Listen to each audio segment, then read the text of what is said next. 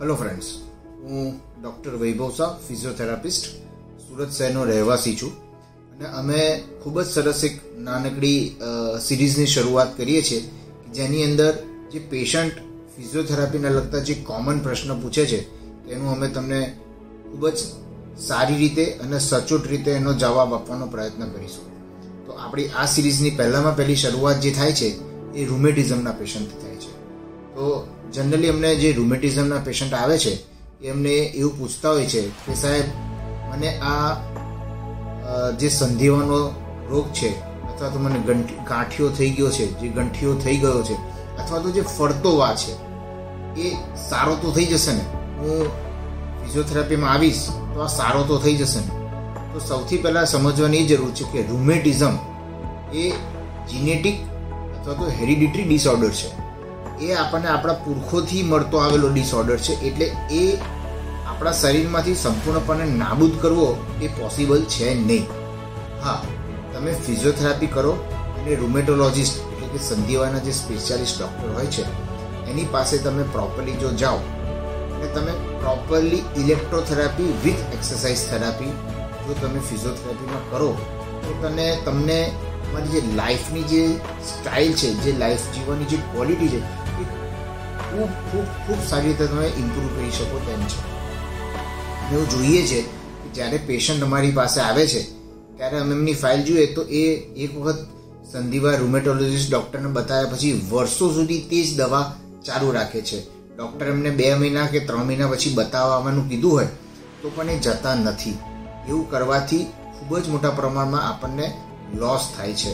સૌથી પહેલી વસ્તુ યાદ રાખો કે રૂમેટોલોજીસ્ટ ડૉક્ટર પાસે તમારે રેગ્યુલર ફોલોઅપ કરવાનું છે.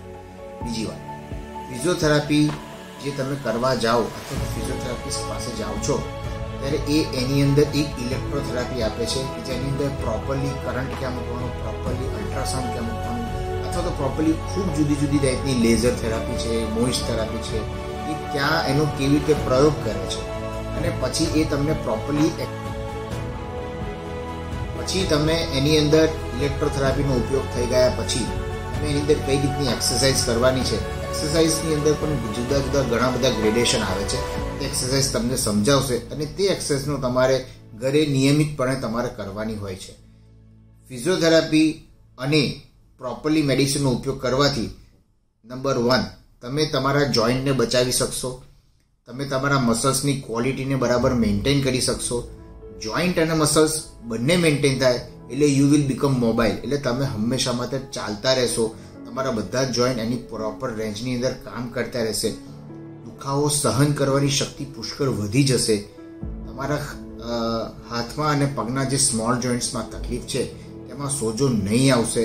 પ્લસ સૌથી ઇમ્પોર્ટન્ટ વસ્તુ છે કે જે આ રૂમેટિઝમ જેની અંદર સોજો આવે છે અને ઇન્ફ્લેમેટરી આર્થેટિસ કહેવાય છે.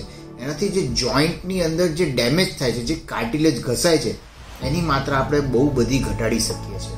તો ટેક હોમ મેસેજ આજનો ટેક હોમ મેસેજ આ સિરીઝના ફર્સ્ટ એપિસોડનો એવો છે કે રૂમેટિઝમના પેશન્ટે number one properly rheumatoid specialist પાસે વિઝિટ કરવાની છે. અને નંબર ટુ ફિઝિયોથેરાપીની અંદર એમને જે એક્સરસાઇઝ બતાવે તે ઘરે કરવાની છે. સારા ફિઝિયોથેરાપિસ્ટ પાસે પ્રોપરલી એમના માર્ગદર્શન હેઠળ ઇલેક્ટ્રોથેરાપીનો પ્રોપરલી ઉપયોગ કરવાનો છે અને એક્સરસાઇઝ શીખીને ઘરે તેને ફોલો કરવાનો છે. થેન્ક યુ સો મચ નવી એપિસોડ સાથે આપણે થોડા જ સમયમાં મળીશું.